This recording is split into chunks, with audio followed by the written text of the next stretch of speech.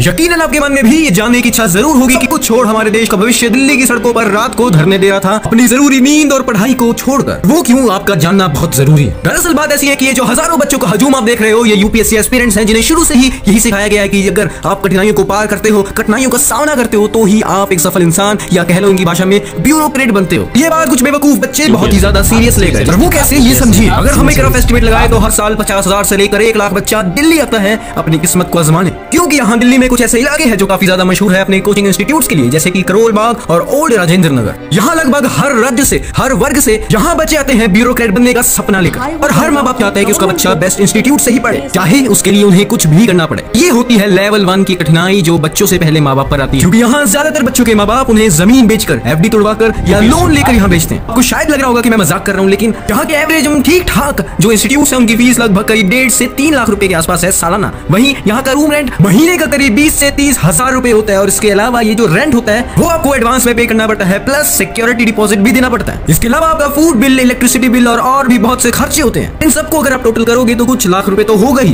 ये जो अमाउंट है बच्चों की फैमिली के लिए कम ज़्यादा हो सकती है, ज़्यादातर ज़्यादा ही होती है। ये तो होगी आपके घर वालों के द्वारा उठाई गई कठिनाई, लेकिन इसके अलावा अब बात करते हैं मेन बच्चों की। ये यहाँ दिल्ली में पहुँचते ही कठिनाइयाँ शुरू हो जाती है, क्योंकि उन्होंने कभी भी ऐसा माहौल नहीं देखा होता। लाजमी बात है कि अगर कोई नई जगह है तो वहाँ पर सेटल होने में वक्त लगता है। आपको मालूम है कि जो थोड़ी देर पहले मैंने आपको रूम रेंट के बारे में बताया था जो करीब बीस से पैंतीस हज़ार रुपए होता है हर महीने हर किसी के लिए बजट में नहीं होता है, वो दिया जाता है इन दस बाय दस के कमरों के लिए। लाजमी सी बात है कि बच्चे इतना रेंट नहीं अफोर्ड कर पाते जो वो शेयरिंग में रहते हैं ताकि मिलजुल कर इसका रेंट पे किया जा सके। और कई बार पता क्या होता है कि अगर आपको किस्मत से अच्छा रूम पार्टनर मिल जाए तो दोनों मेहनत करते हैं करते हैं और ज़िंदगी भर के लिए अच्छे दोस्त बन जाते हैं। लेकिन अगर आपको कोई गलत रूम पार्टनर मिल जाए तो आप जो लक्ष्य साध कर यहाँ दिल्ली आए हैं, उस लक्ष्य से भी भटक सकते हैं। लेकिन अब करते हैं मुद्दे की बात, जो है कोचिंग इंस्टीट्यूट हाँ बच्चों को बैच वाइज डिवाइड किया जाता है और उन्हें यूपीएससी की तैयारी करवाई जाती है, जहाँ अमूमन एक बैच करीब सौ बच्चों से लेकर करीब तीन सौ बच्चों तक हो सकता है। और खैर, यहाँ पर सीट मिलना और खासकर फ्रंट में सीट मिलना, ये आई बनने से भी ज़्यादा मुश्किल होता है कई बार। आपके सामने जितने भी बच्चे बैठे हैं इतनी तो शायद साल में वैकेंसीज भी नहीं होती है आई एस की। लोकल बच्चों को तो पता होता है कि कौन सा इंस्टीट्यूट रेप्यूटेड है और कहाँ से बच्चे आई बन भी रहे हैं। वहीं अगर कोई और स्टेट से बच्चा है तो वो काफ़ी ज़्यादा कंफ्यूज होता है कि वो कौन से इंस्टीट्यूट को ज्वाइन कर खुद हैरान हो जाओगे देखकर कि कैसे ये बच्चे तंग गलियों में तंग इमारतों में सैकड़ों की संख्या में बैठकर पढ़ाई कर रहे हैं। इंस्टीट्यूट की हालत जैसी है आपको एक फूटी कौड़ी देने का मन नहीं करेगा। इतनी मुश्किलें उठाकर कितना जोखिम उठाकर वहाँ पर बच्चे पढ़ रहे हैं उनके माँ बाप भी ये सोच नहीं सकते। हालिया हमें जो सबूत देखने को मिला है वो है राउ आई जो करोल बाग में है। ये है वहाँ की लाइब्रेरी की तस्वीरें जो बेसमेंट में मौजूद है जहाँ पर आप देख सकते हो कि कितनी ज़्यादा घुटन में बच्चे पढ़ते हैं। वहाँ पर, यह परसों की बात है कि करीब 30 से 35 बच्चे पढ़ रहे थे। उसी वक्त यहाँ पर पानी भरना शुरू हो जाता है। बच्चों के घुटनों तक पानी भर जाता है और वहाँ कार इंफ्रास्ट्रक्चर होने की वजह से पानी में करंट आ जाता है और उसकी वजह से करीब तीन बच्चों को अपनी जान गंवानी पड़ती है, ऐसा ऑफिशियली कहना है। और अनऑफिशियली बच्चों का कहना है की भाई, करीब सात से आठ बच्चों की इसमें जान जा चुकी है। और इनमें से भी सिर्फ़ दो बच्चों की आइडेंटिटी का पता चल पाया है। एक बच्चा ऐसा है, जिसके बारे में अभी भी मालूम नहीं चला। सोच कर देखो की भाई इतना बड़ा इंस्टीट्यूट है करोल बाग के अंदर। वहाँ पर कोई सेफ्टी इक्विपमेंट नहीं, कोई सिक्योरिटी वाला नहीं। अगर देखिए जो इसके नीचे के इंस्टीट्यूट हैं, जो इलीगल इंस्टीट्यूट हैं, उनका क्या हाल होगा और वहाँ पे पढ़ने वाले बच्चों की क्या हालत होगी? देखा जाए तो ये चीज़ें कई सालों से वहीं पर है, लेकिन किसी ने कभी भी इसके बारे में बोला नहीं। बोला है ऊपर कोई एक्शन नहीं लिया गया, लेकिन अब